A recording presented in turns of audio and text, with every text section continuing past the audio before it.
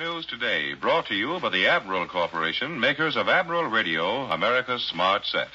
By shortwave broadcast direct from important overseas stations, as well as leading news centers of our own country, CBS correspondents are waiting to bring you a complete report from the world's political and battlefronts. But first, here's Doug Edwards. German elite troops have been thrown into the Battle of the Bridgehead below Rome today, and Allied forces have fallen back two miles to adjust their lines. American heavy bombers have smashed German airfields in France for the second day in a row. And on the Russian front, Soviet units are reported nearly 100 miles beyond the pre-war Polish frontier. Okay, going to show you a little bit about the radio system and communication system I have set up here. This is a World War II radio receiver. It's part of radio set SCR 284. This particular unit right here is a BC654, part of unit SC284. It's a uh, radio transmitter and receiver.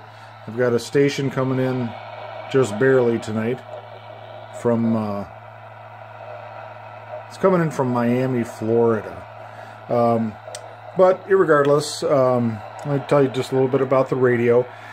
Receiver section, transmitter section. Um, works off a T117 microphone.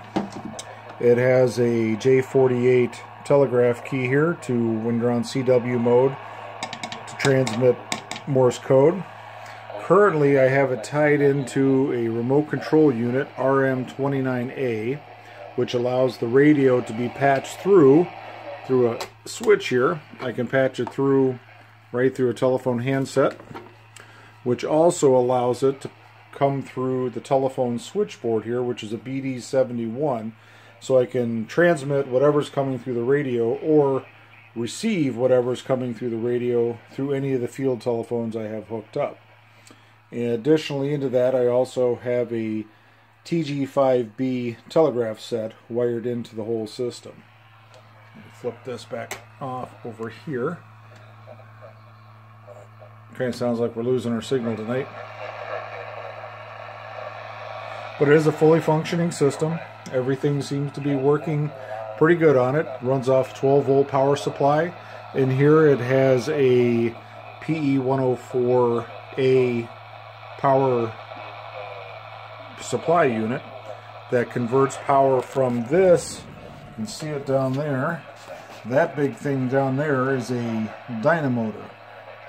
And that supplies the power to the radio when it's in transmit mode.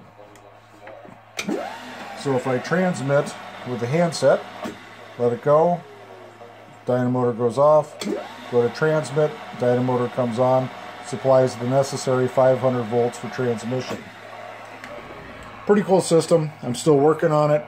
Still trying to figure out all the ins and outs of it. I have it wired up temporarily with a temporary antenna so I can get a little extra signal. That's just a little overview of the radio system.